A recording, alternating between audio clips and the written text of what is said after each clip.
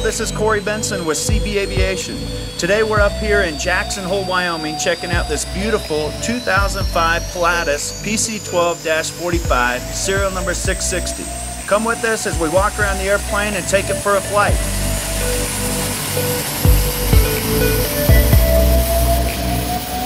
The PC-12 is certified up to 30,000 feet if you have the RVSM certification.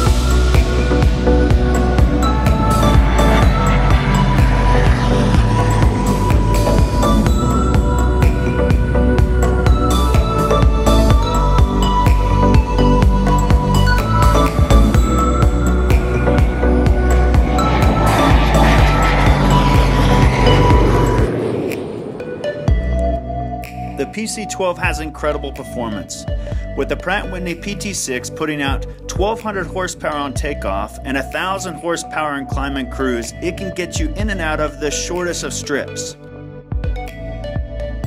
You only need 1,350 feet at max gross weight at sea level and you're airborne.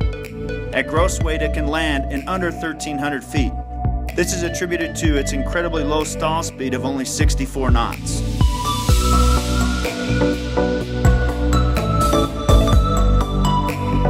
It is also approved to land on grass and dirt strips. This is due to its incredible sturdy trailing link landing gear.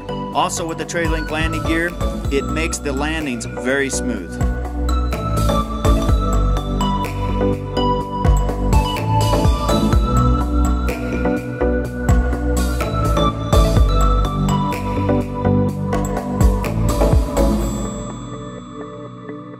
Serial number 660 is based here in Jackson Hole, Wyoming.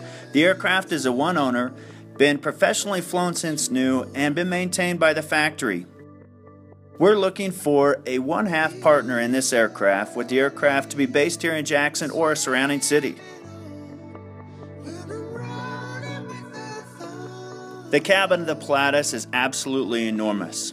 At 17 feet long, 5 feet wide, 4 feet 9 inches tall, it gives you 330 cubic feet of volume in the cabin. With the huge cargo door that is 52 inches by 53 inches, the ease of getting your toys or luggage in and out is unlike any other aircraft.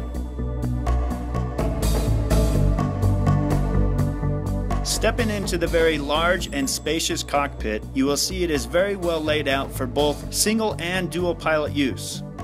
The aircraft is equipped with the optional four tube EFIS system, which are 5 inch screens, and the owners also upgraded to the Garmin 530 and 430 GPSs. If you are looking for an aircraft that can do it all and you only want to pay half of the expenses, this is the right bird for you. With it being single pilot certified, the huge cabin, huge payload, very economical to operate, the PC-12 is one you must not overlook.